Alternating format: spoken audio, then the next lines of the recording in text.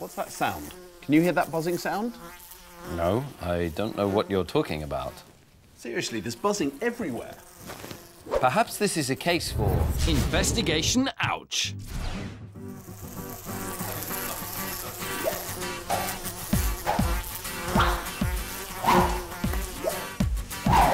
Yes, this is a room full of flies, and no, I haven't had a bath in weeks, but we're not going to talk about that. If you're wondering what these flies have to do with modern medicine, I'm about to tell you. This is Kerry Jones, and he's a fly breeder. Yes, you heard right, he breeds flies. Kerry, how many flies have you got in this room? We've got 36,000 flies in this room, Did you count them all? every single one. And I bet he knows all of their names. What kind of flies are they? They're the common green bottle, same as you'd find in your house or your garden in this country. But these flies are growing up in a completely sterile, bacteria-free environment, and they're eating a very special dinner. Mmm, yum. What we've got here is a big box full of flies eating raw liver. Disgusting. But there is a point to it. Why? The reason we're feeding them on raw liver is to build up their strength so they've got enough strength to lay the eggs, because it's the eggs we're interested in. Flies lay eggs, and the eggs hatch into larvae or maggots like this one. Hello, beautiful. And it's the maggots that have a special medical use. But before we get to that, those eggs have to be harvested. It's basically a manual process. It's removing the eggs from the liver. They're extremely small, and there will be between 10 to 20,000 eggs in each dish. Yes, this white stuff is thousands of eggs all stuck together. How long has this piece of liver been in there? In about two hours, So in two hours, 600 flies have laid 20,000 eggs. yes. That'd be impressive if it was chickens, wouldn't it?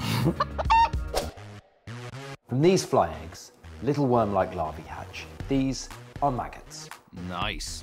Now you've probably seen maggots before, and these are the same scary maggots that you see in dead animals and in horror movies. But there's one really important difference. These maggots are sterile.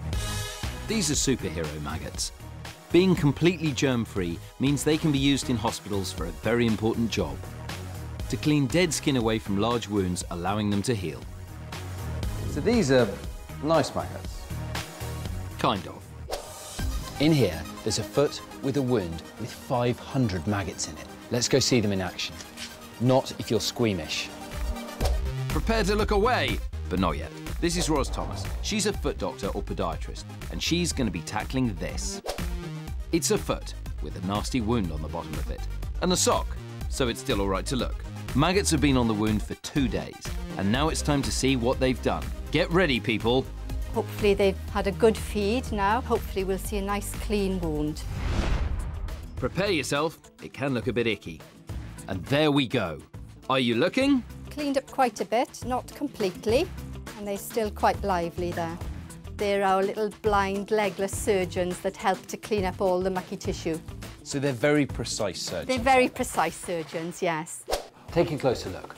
Although they can eat dead flesh, maggots don't have any teeth. They vomit powerful chemicals onto the wound, which dissolves dead flesh, and the maggot can then eat that, along with any bacteria that are around. And that is what makes them perfect wound cleaning machines. It's looking so much better than it was originally because it was completely covered with yellow, mucky tissue. Yes, it was, but that yellow tissue was all dead flesh. So although it might look worse now, are you still looking? In fact, it's much healthier. This patient's wound has improved a lot in two days. But don't worry, the maggots won't eat the healthy flesh, only the dead stuff. No one's going to be eaten alive. So that's a relief. We normally think of maggots as eating rotting things in bins, but it's this ability to just eat rotten flesh that makes them such good healers. Whereas a human surgeon might have to amputate a foot, 500 blind, tiny, legless surgeons are able to eat only the dead flesh and therefore save the foot.